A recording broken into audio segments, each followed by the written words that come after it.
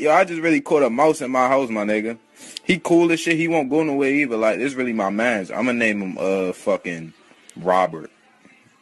No. This nigga really cool as a motherfucker. He really cool as a fan. So this really But everybody who DM'd me was like, ew, yo, you dirty, you got mice in your house. Eat your fucking dick!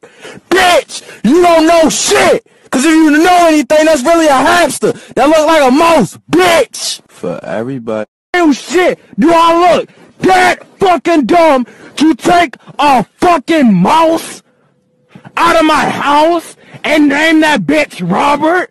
Like, do I got dumbass entertainment written on my fucking forehead? Real shit. I fucking see a fucking mouse in my house. I'ma stomp that bitch. Like, fuck no. This